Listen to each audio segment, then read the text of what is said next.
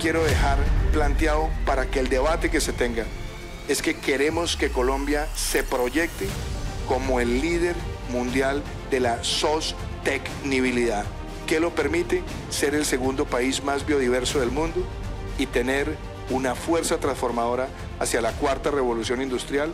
Esta ruta es posible y sé que entre todos la podemos lograr. Este es un gobierno que piensa en el país, que trasciende más allá de unas fechas o de un cargo, de una posición.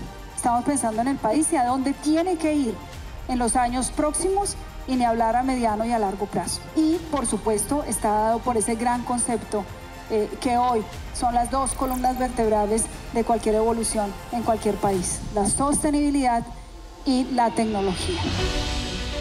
Este evento es el más importante de la región en temas de tecnologías de información y las comunicaciones. Aquí nos reunimos todo el ecosistema digital y nos reunimos en un espacio académico y también de política pública a pensar, a innovar, a buscar nuevas soluciones, a identificar tal vez nuevos problemas, tratar de que Colombia y la región pues sea un país que adopta cada vez de una mejor manera las tecnologías para el desarrollo de toda la población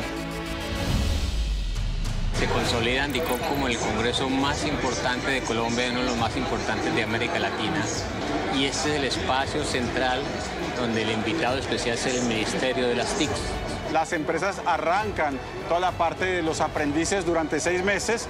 Terminamos la certificación, inmediatamente las empresas usan la ley de primer empleo para contratar a estas personas en analítica, en ciberseguridad y desarrollo el impulso de una sociedad digital e industria incluyente, eficiente, que permita esa dinamización eh, del sector y del mercado y por supuesto que eh, involucre a, todos los actores. Agradecemos a la ministra, estuvimos con los con el viceministro y la viceministra también, conectividad y transformación digital y eh, detrás de esto pues vamos a establecer un plan de trabajo que nos permite seguir avanzando para que Colombia sea un país digital.